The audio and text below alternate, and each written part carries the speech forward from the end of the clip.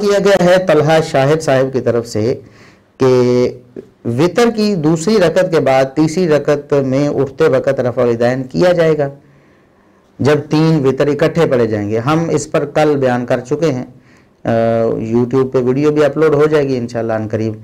कि तीन वितर पढ़ने के दो तरीके हैं। एक तरीका जो बेहतर और मुस्तहब और मसनून है, वो ये है कि दो वितर पढ़ के सलाम फेरा जाए, फिर एक वितर पढ़ा जाए। लेकिन तीन वितर इकट्ठे पढ़ना भी सहाबा कराम से साबित है, उसके हवाले भी हमने बयान किए थे। जब तीन वितर इकट्ठे पढ़े जाएँगे तो दो रकतों के बाद बैठा नहीं जाएगा, बल्कि तीसरी के लिए उठा जाएगा। यानी पहली, दूसरी और तीसरी मुसलसल पढ़ी जाएँगी, दो के बाद तशहद नहीं बैठा जाएगा। अब इश्काल ये है कि आमतौर पर जब तीसरी रकत के लिए हम खड़े होते हैं तो तशहद के बाद खड़े होते हैं। फिर हम रफुल दैन करते हैं, लेकिन जब हम तीसरी रकत तशहद के बगैर खड़े हो रहे हैं तो क्या फिर भी रफुल दैन करेंगे? तो जवाब है कि जी बिल्कुल, फिर भी हम रफुल दैन करेंगे। और इस हवाले से दलील सही बुखारी की हदीस है।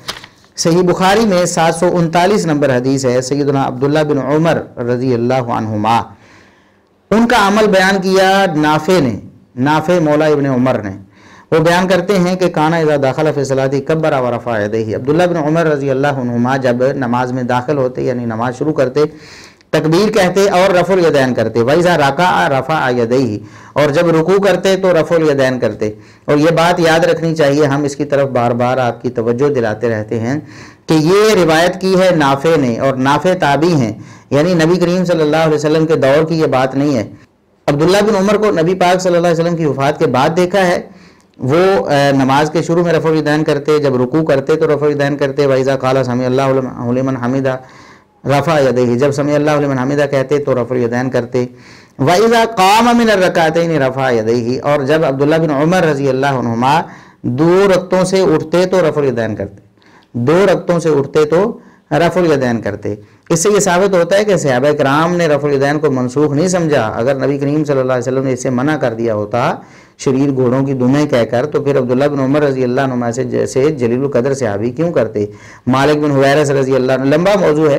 दीगर से आबा का अबू हुमायर सायदी रज़ी अल्लाह सैदना अबू बकर सिद्दीक रज़ी अल्लाह से भी नबी करीम अलैहि वसल्लम की ज़िंदगी के बाद भी ये तालीम देना साबित है।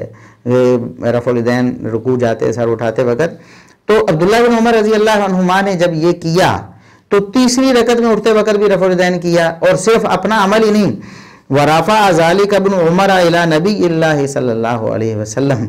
नाफे कहते हैं कि फिर अब्दुल्ला बिन उमर रज़ी अल्लाह ने नबी करीम सल्लल्लाहु अलैहि वसल्लम का भी यही अमल बयान किया कि आप सल्लल्लाहु अलैहि वसल्लम भी नमाज़ के शुरू में रुकू जाते, रुकू से सर उठाते वक्त और तीसरी रकत भी उठते वक्त रफुलदैन करते थे।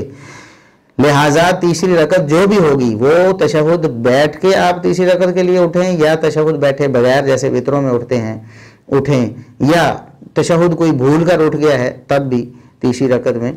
तो तीसरी रकत में उठते वक्त रफुलदैन करना है, उसके लिए तशहद की शर्त हदीस में नहीं लगाई गई हमें भी नहीं लगानी चाहिए। और वितरों की तीसरी रकत में और कोई भी नमाज़ हो, उसकी तीसरी रकत जब हम शुरू करें तो रफुल करना चाहिए।